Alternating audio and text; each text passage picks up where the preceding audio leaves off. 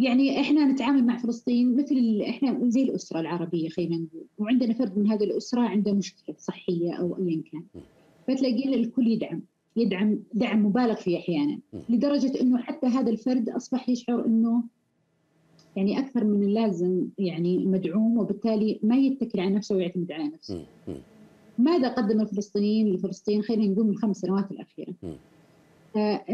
الدول العربية من ضمنها طبعا على رأسها السعودية.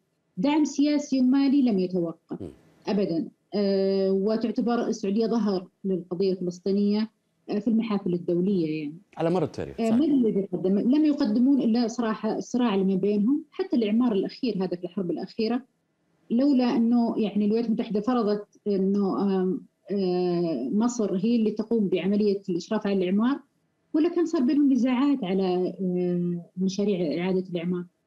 إحنا نتذكر إنه آه، يعني المرحوم ياسر عرفات آه، في حرب الخليج كان يعني آه، ضد السعودية وضد الكويت.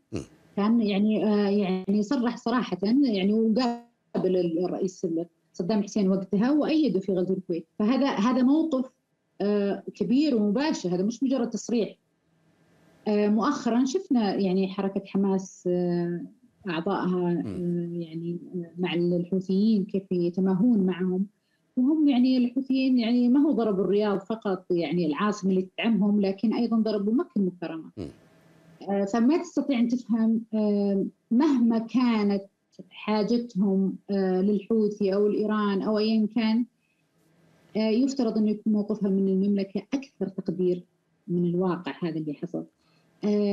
وعلى فكرة يعني هو من جميع الجهات سواء فتح أو حماس أنا أعتقد أن السعودية تقدم من باب الواجب جي.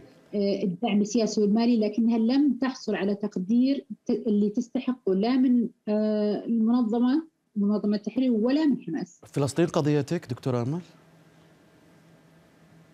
من قضاياي لكنها ليست قضيتي الأولى يعني. حماس آه، تضع أسلحتها أو تطلق صواريخها من مباني مدنية وترد عليها إسرائيل فورا تفجر لك المبنى واللي حواليه من مخابز من بقالات. من ايا كان آه هذا النوع لابد يكون عندنا هذا الوعي نحن نعرف مين اللي أخطأ والخطا أو كرهنا لإسرائيل المفروض إنه ما يعمينا عن إن إحنا رؤية الحقيقة كلها من جميع الأطراف وليس فقط نقطه محدده.